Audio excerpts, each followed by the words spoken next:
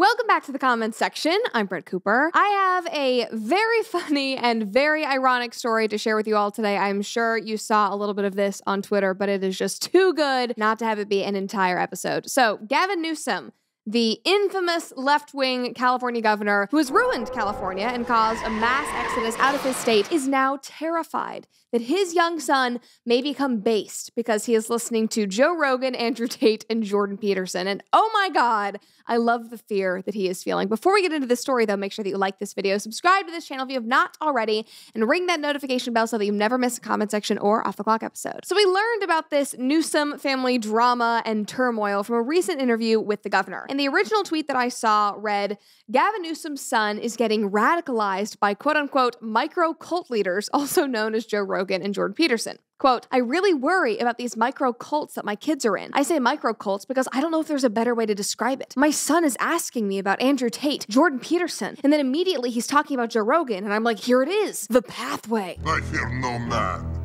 but that thing, it scares me. Oh God, the gateway drug. Jordan Peterson and Joe Rogan, the gateway drug to conservatism. Oh my god! The fact that he's calling them micro cults is just so good. Somebody commented and said, apparently, independent thinking and not repeating mainstream media talking points verbatim is the behavior of a cult member now. Kind of sounds like the opposite. But I don't think Gavin Newsom is smart enough to realize that. Somebody else commented and said, I love that a micro cult is the most popular podcast on earth. Somebody else said, the pathway to what? Masculinity? I can see why that's a problem for Gavin.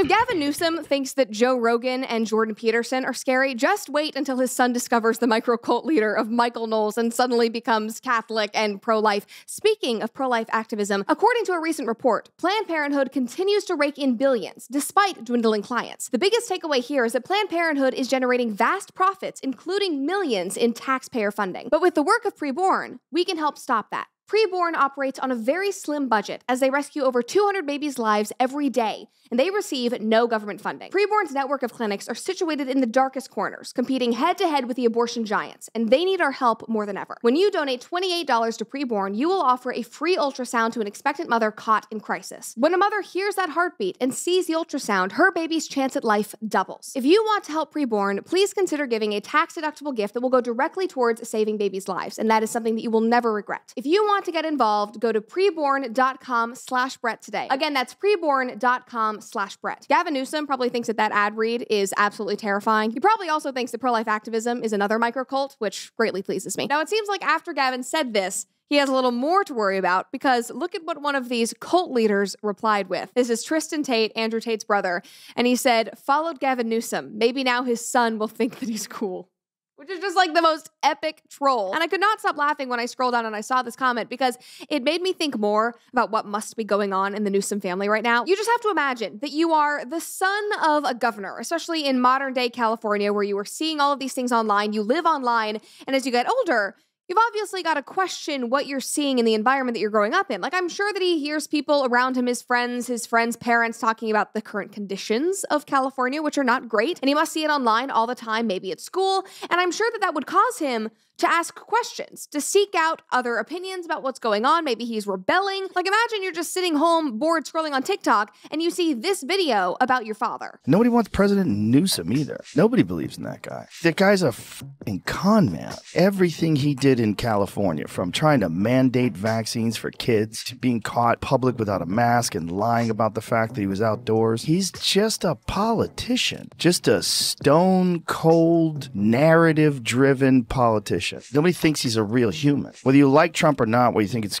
he's corrupt or not, that's a human being. You know what that guy is. Same thing with RFK Jr. Whether you believe that he's correct about vaccines or whether you believe his policies would be effective, you know that's a human being. With Newsom, you've got like this construct, this cardboard cutout of a person. I don't think people want that, but they might want it more than they want President Trump. It is such a good point what he's saying because I think of Newsom and I think about a slick haired, slick personality, cardboard cutout. His entire life is dictated by what the media is going to say, how he can skirt around his own laws for his own benefit. He's slimy, he's as slick as his hair, and it's gross. Somebody else commented and said, well, if his kid is living in California, he's probably wondering, Dad, what the hell are you doing? If that kid is smart at all, he has got some questions. And to be honest, I commend the kid for seeking out some better male role models, you know, with Jordan Peterson and Joe Rogan, because I highly doubt he is getting that kind of inspiration at home. Anyway, Tristan Tate was not the only one who responded to this quote from Newsom because Jordan, sweet Jordan,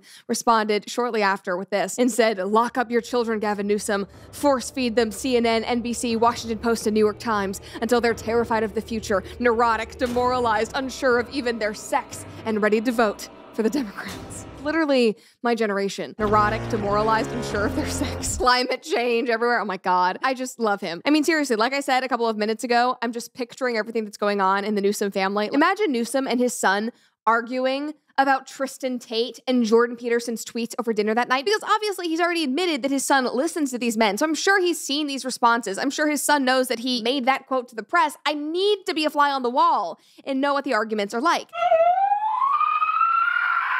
And obviously, all of these dunks on Twitter are hilarious, but what makes this story just really zing, in my opinion, is the pure irony of Gavin Newsom being mad and complaining about not having full control over what his son is consuming and learning. Isn't that ironic? Newsom. Oh, are you experiencing this for the first time? Do you not like that? Wall Street Silver tweeted and said, It sounds like Gavin Newsom's son is based. It's okay when they do it to your children, but now for some reason, Gavin Newsom has an issue with the concept that his son might be influenced by the ideas of somebody else that he, quote, the parent, disagrees with. Weird how it only is permissible in one direction for Gavin. But are we surprised about that? Because, like Joe Rogan said, this man is incredibly hypocritical. He's only out for himself. His entire goal in life is to paint this narrative about him as a politician. He's not a real person. He has a one track mind. He cannot see the complexity or the hypocritical nature of this situation. Congratulations, you played yourself. Okay, Gavin, very interesting that you want to impart your values on your children. What a crazy, insane notion. I thought that that was not allowed. I thought that parents' rights weren't important and were not respected. Although in this circumstance, I would assume that it is less about him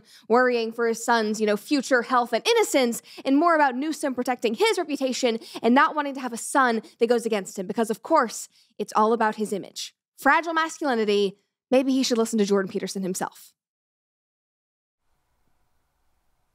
Thank you for watching the comment section. If you want to see more videos just like this, make sure to subscribe to this channel, turn on your notifications, like this video, and of course, if you want even more content, you can follow me on Instagram and Twitter at I'm Brett Cooper. See you next time.